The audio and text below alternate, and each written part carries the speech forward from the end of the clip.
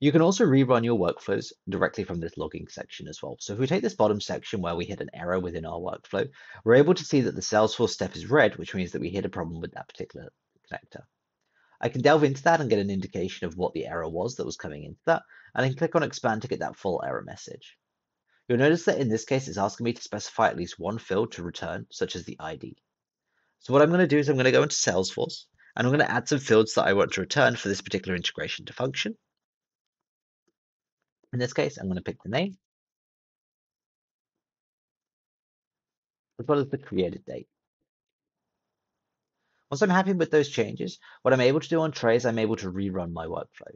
I can either rerun the entire workflow, or what I can also do is I can rerun the individual steps as well, so that if I've fixed that particular issue at that step, I can just rerun that step individually using the data from previously.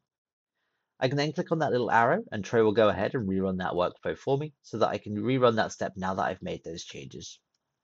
At the bottom section, you'll notice that the live arrow is pulsating and you're starting to see that we're now getting the remainder of the additional logs coming through from that rerun step, which was me making those changes and successfully fixing the issue that was causing that problem initially. You'll also notice that as I go back into the logging section, that is now green, which is showing me that this was a successful run, and that Salesforce step that was previously red has now been resolved and is green, telling me that it was a successful run.